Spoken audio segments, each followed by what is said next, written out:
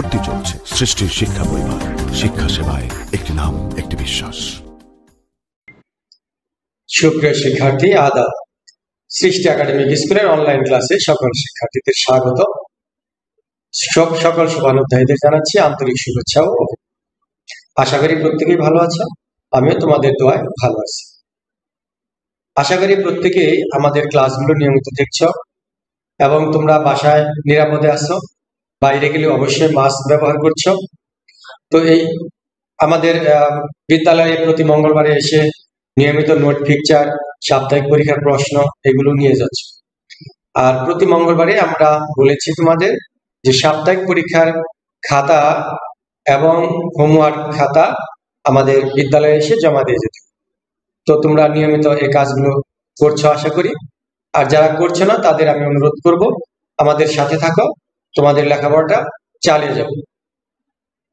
তো গত ক্লাসে আমরা তৃতীয় অধ্যায়ের অর্থাৎ চতুর্থ অধ্যায়ের গুণ অঙ্ক করেছিলাম। সেই গুণ অঙ্ক শেষ করে আমরা চতুর্থ অধ্যায়ে চলে এসেছি। আজকে আমরা করব এই অধ্যায়ের ভাগ অঙ্ক। আজকে আমরা করব ভাগ। তো ভাগের অধ্যায়ের ভাগ অঙ্ক করার আগে যে সকল বিষয় নিয়ে, বিষয়গুলো আমাদের জানা দরকার, সেই বিষয়গুলো নিয়ে আজকে আমরা আলোচনা করব। তোমরা অবশ্যই নোট করে নিবে। এখান থেকে ছোট ছোট প্রশ্ন, অর্থাৎ আমি যে সাতটি প্রশ্ন এখানে লিখছি, এই প্রত্যেকটি প্রশ্নে কিন্তু পরীক্ষায় আসার মতো। সুতরাং তোমাদের অবশ্যই এগুলো নোট করতে যেমন, প্রথমেই আলোচনার বিষয় হলো ভাগ কি? অর্থাৎ আমরা যে ভাগ করব, ভাগ অঙ্ক আসলে কি? ভাগ অঙ্ক হচ্ছে, ভাগ হচ্ছে পুনঃ পুনঃ বিয়োগ অর্থাৎ আমরা যে কোনো জিনিসকে ভাগ করব বা কোনো সংখ্যাকে ভাগ করব। ভাগ করার সময় আমরা কিন্তু একজন একজন করে মানে প্রত্যেককে এভাবে একজন একজন করে দিয়ে থাকি। অর্থাৎ দেওয়ার সময় আমাদের কি হয়? ওই যাকে দেই, প্রথমে যে যাকে দেই, সেখান থেকে ওই সংখ্যাটা কিন্তু বিয়োগ হয়ে যায়। যেমন এখানে সতেরোকে আমরা পাঁচ দিয়ে ভাগ করব। এখানে খেয়াল করা, ভাগটা করার আগে আমরা একটু আলোচনা করে নিই যে সতেরোকে আমরা পাঁচ দিয়ে ভাগ করব। এই পাঁচ দ্বারা ভাগ করব, অর্থাৎ তিনজনকে ভাগ করে দিব। তাহলে প্রত্যেককে আমরা পাঁচটি করে দিব। প্রথমে যে ব্যক্তিকে দিলাম, সেখান থেকে প্রথম ব্যক্তিকে পাঁচটি দেওয়ার পরে আমাদের হাতের হলো কতটি? বারোটি। বারোটি হল বারো আর পাঁচে, সতেরো। অর্থাৎ সতেরো থেকে পাঁচটি বিয়োগ করলেন, করার পরে অর্থাৎ প্রথম জনকে আমরা পাঁচটি দিয়ে দিলাম। পাঁচটি দেওয়ার পরে কয়টি হলো বারোটি হলো এবারে আমরা দ্বিতীয় ব্যক্তিকে দেব। দ্বিতীয় ব্যক্তিকে এই বারোটি থেকে আবার পাঁচটি দিলাম। দেওয়ার পরে কয়টি হলো সাতটি। আট, নয়, দশ, এগারো, বারো। সাতটি হলো খেয়াল করো।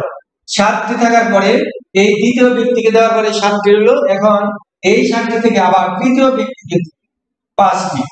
খেয়াল করো। পাঁচটি দেওয়ার পরে কয়টি থাকল? দুইটি থাকল। এই যে আমরা তিনজনকে দিলাম, একজন একজন করে কিন্তু দিলাম।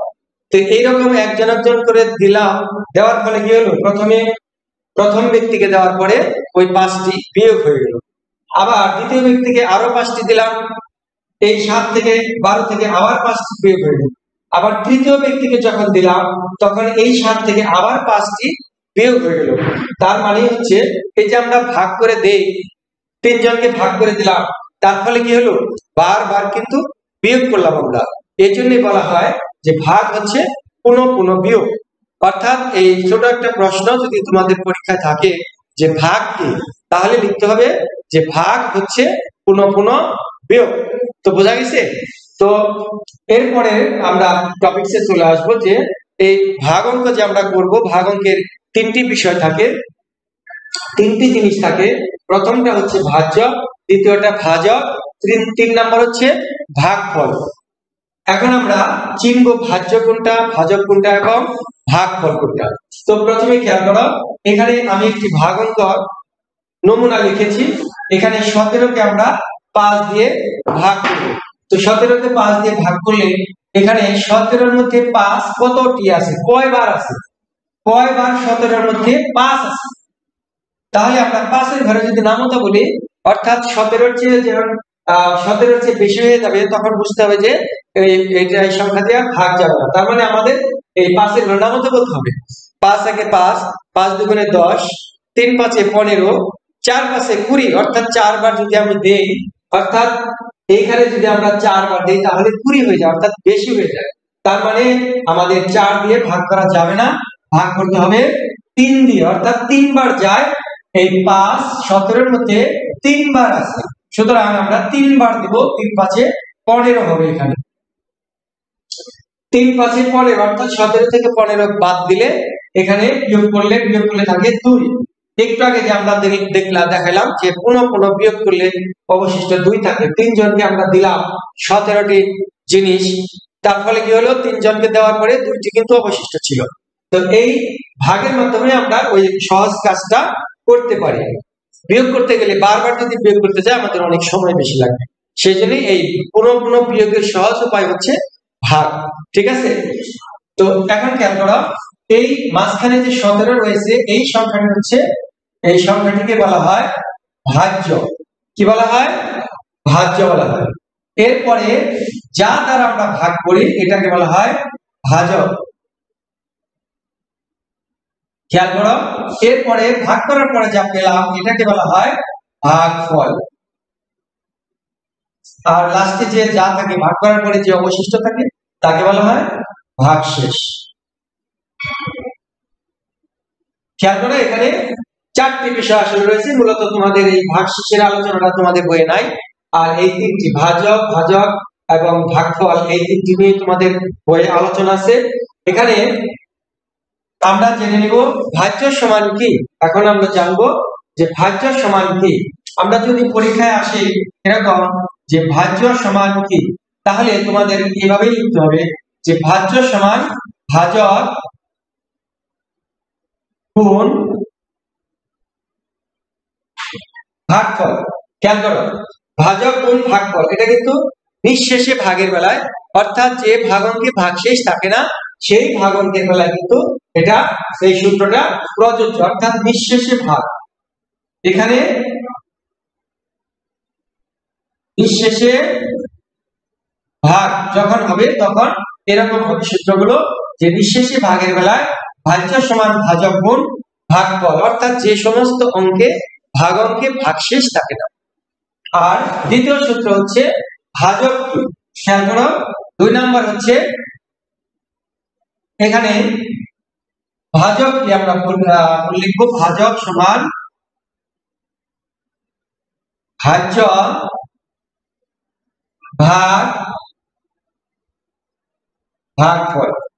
অর্থাৎ খেয়াল করো, এখানে ভাজ্য আছে সতেরো, আমরা যদি এই একটা ভাগ অঙ্ক, এখানে আমরা ছোট্ট একটা ভাগ অঙ্ক করি, আমরা যদি এভাবে পাঁচ দিয়ে ভাগ করি পনেরোকে, তিন পাঁচে পনেরো হয়, এখন ভাগ শেষ এখানে নাই, এটাকে বলে নিঃশেষে ভাগ। এই নিঃশেষে ভাগের বেলায় এই সূত্রগুলো প্রযোজ্য। ঠিক আছে? এই নিঃশেষে ভাগের বেলায় এই সূত্রগুলো প্রযোজ্য।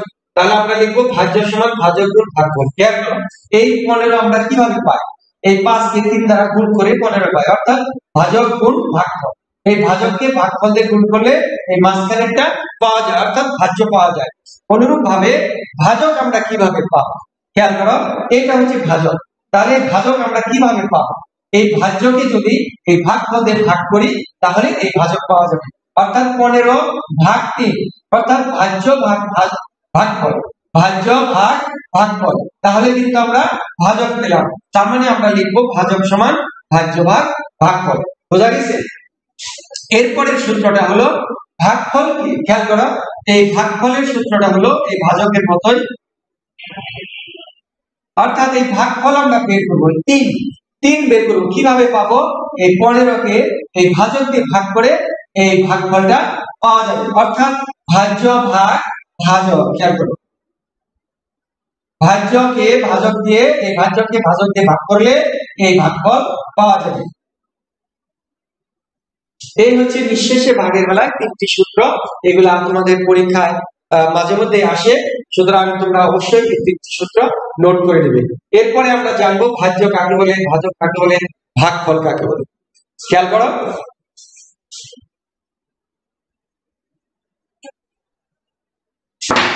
এখানে বলা হয়েছে যে ভাজ্য কি? ভাজ- ভাজক ভাজ্য কাকে বলে?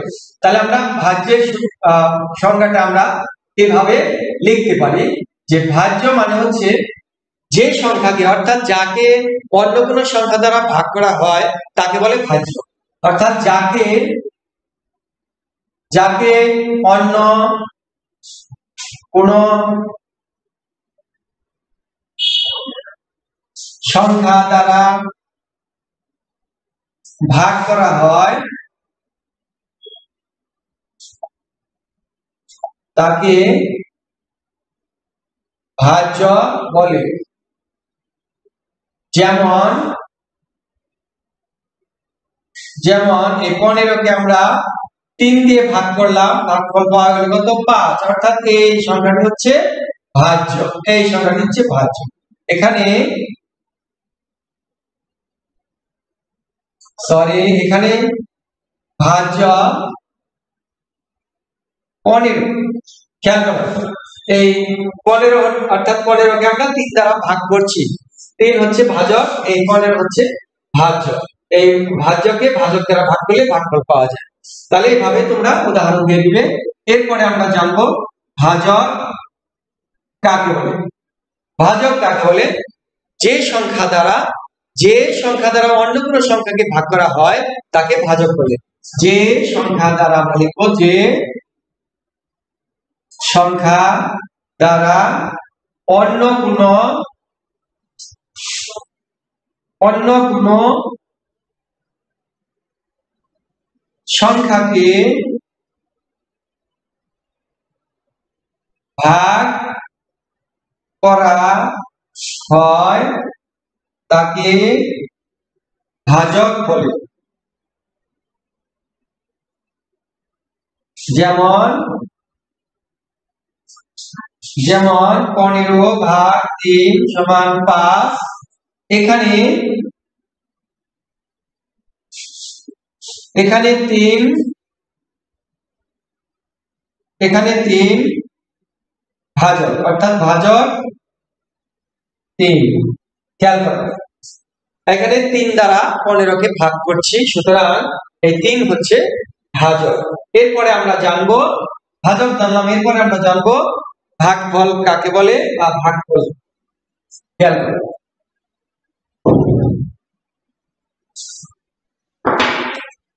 ভাগফল ভাগফল জানব।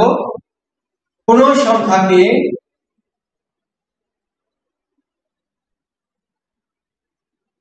অন্য কোন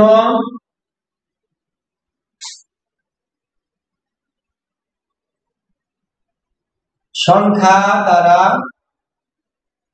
ভাগ করলে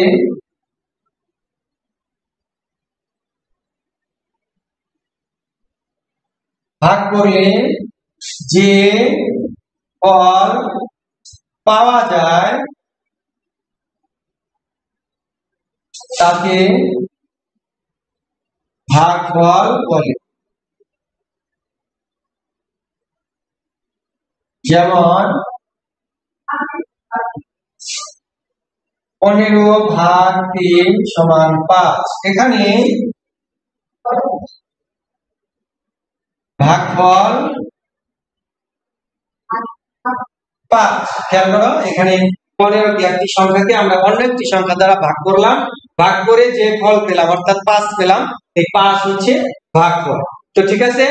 এই পর্যন্ত আজকের ছোট প্রশ্ন নিয়ে আমরা আলোচনা করলাম। ভাগ ভাগ অধ্যায়ের যে সমস্ত বিষয়গুলো আসলে ছোট প্রশ্ন থাকে, আমরা এগুলো নিয়ে আজকে আলোচনা করলাম। আগামী ক্লাসে আমরা ভাগ অঙ্ক করব, ভাগ কীভাবে করতে হয় হ্যাঁ এইগুলো নিয়ে আজকে আলোচনা আগামী ক্লাসে আলোচনা করব। তো আগামী ক্লাসের আমন্ত্রণ রইল, সে পর্যন্ত সবাই ভালো থেকো, সুস্থ থেকো, আদা